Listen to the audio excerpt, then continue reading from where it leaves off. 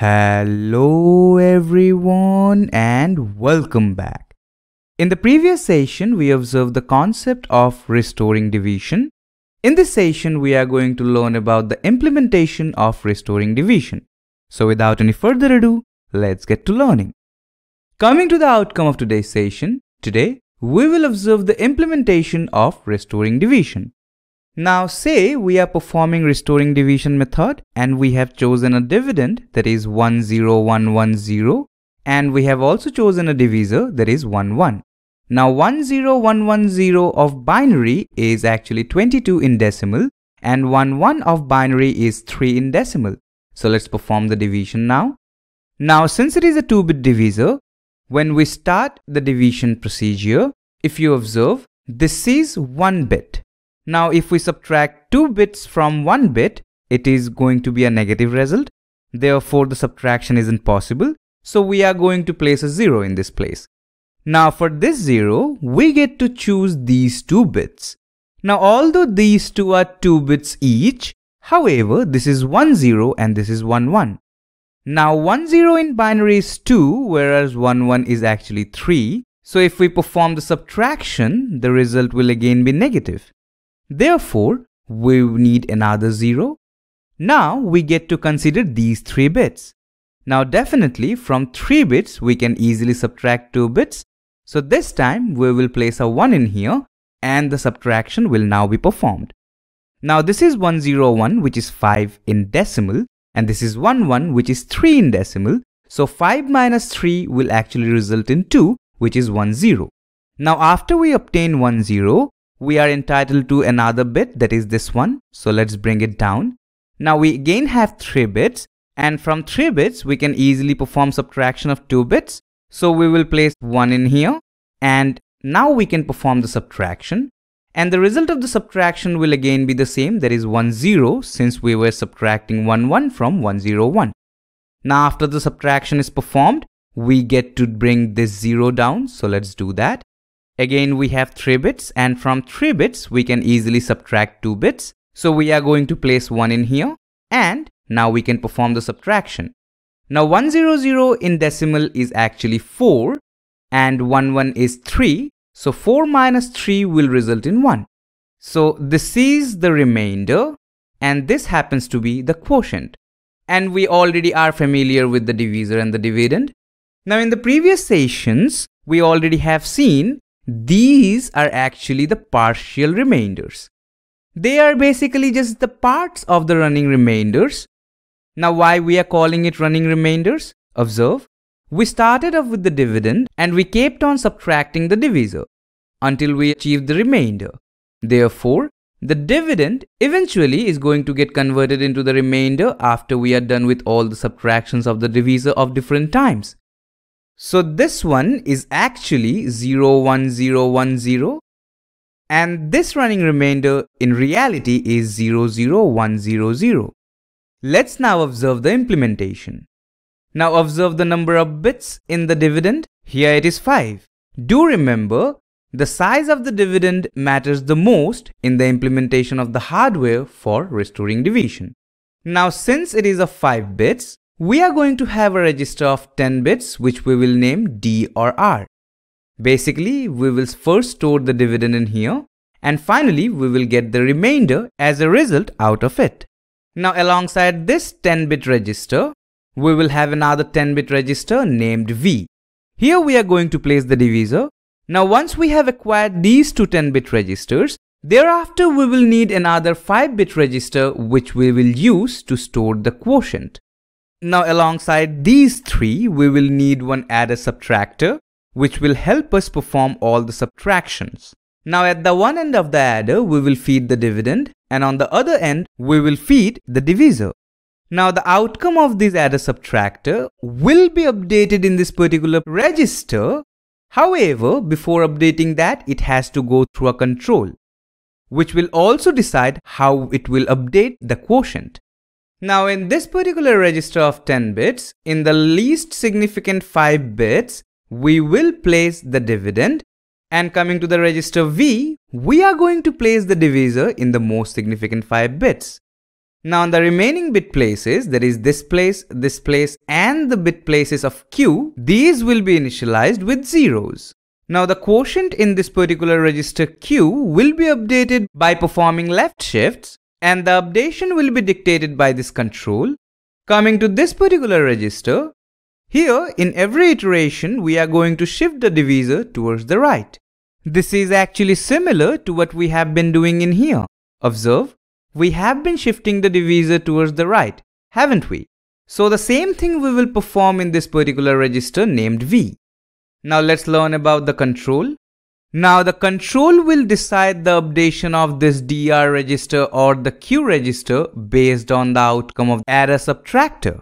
Basically, if the result of the subtraction is negative, then we restore the contents of DR. Thereafter we shift Q and update the LSB with 0. Let me explain. Consider this division. At the beginning, when we started off with 1 1 and the dividend as 1 bit 1, at that time we tried to perform the subtraction 1 minus 1 1. Now had this subtraction been performed, the result would have been negative. In that case, we would have to restore. And at the same time, we placed 0 in this place. Again, for this case, when we tried to perform the subtraction between 2 and 3, that is when we tried to consider these two bits of the dividend, at that time, had this subtraction been performed, in that case, the result would have been negative and as a result, we would have to restore the dividend. And along with that, we also place 0 in here. Now in case of the Q register, we are going to perform shift left, that is, everything will be shifted to the left and the LSB of Q, that is this particular bit, is going to be updated with 0 whenever the result of the subtraction is negative. Now, if the result of the subtraction is positive, in that case, we update the contents of DR, like in here. Since the subtraction was possible and we performed that and it is actually positive, and when this happened, the quotient for that was set to 1.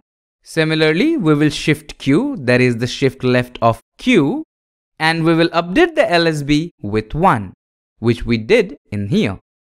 Let's now observe how the operations will be performed. So at the first iteration, we are going to shift the entire content of the register V towards the right once. Now consider these bits and these bits. Observe, this is still greater than the dividend. So basically, if we perform the subtraction between these two, the result will be negative and we would have to restore the content of this particular register. And since the result would be negative, therefore, by the end of the first iteration, we will shift all these 4 bits towards the left in the register Q and the LSB will be updated with 0 because the result of the subtraction would have been a negative value. Now during the second iteration, we get to shift the content of the V register towards the right one more time. Look at the content now. This is 10110 and this is 11000. So this is still greater than this one. So clearly, the subtraction between these two will result in a negative value, due to which we are going to restore the content of this one. And also, by the end of the second iteration, we will shift all these 4 bits towards the left and the LSB will again be updated with 0 because the result of the subtraction was negative and we had to restore the content of the DR register. Now during the third iteration, we are shifting the entire content towards the right once more. Now look at the content of the dividend register and the divisor register. It is 10110 and it is 11 followed by 00. Now it is lesser than this one and we can perform the subtraction. Now the subtraction between this one and this one will actually result in this. That is 01010 which we will have in here. And since it is positive, and how do we know that? Because if you remember in 2's complement representation, if we check the most significant bit place and if that is set to 1, then the entire result is negative Otherwise, it is a positive. And since it is positive, by the end of the third iteration, all these 4 bits will be shifted towards the left and the LSB will be updated with 1 because the result was positive. Now coming to iteration 4, we are shifting the content of the V registers towards the rights once more. Observe, the content of dr is actually 1010 that is 10 and the content of v is 110 that is 6. Now the subtraction is possible and the outcome of this subtraction is going to be 00100 that is this one. So let's update the content of dr register and since it is positive therefore by the end of the fourth iteration we will shift all these bits towards the left in the Q register and the LSB place will be updated with 1 since the result of the subtraction was positive. Now during the last iteration that is the iteration number 5 as you can observe by shifting the entire content towards the right now we have positioned the divisor at the rightmost side of the V register. And notice the content of the DR register it is 100 which is 4 and now the content of the V register is 11 which is 3. Therefore the subtraction is possible and the result of which is going to be 1. So let's update that. And since it is positive, therefore by the end of the fifth iteration, all these 4 bits will be shifted towards the left and the LSB of Q is going to be updated with the value 1. Now notice, as a result of this division, we are supposed to get 00111 as the quotient which we did in this particular register also, we were supposed to get 1 as the remainder, which we also obtained in this particular register. So this is how we implement the restoring division. So in this session, we observed the implementation of restoring division. Alright people, that will be all for this session. In the next session, we will learn how can we improve the hardware of the restoring division. So I hope to see you in the next one. Thank you all for watching.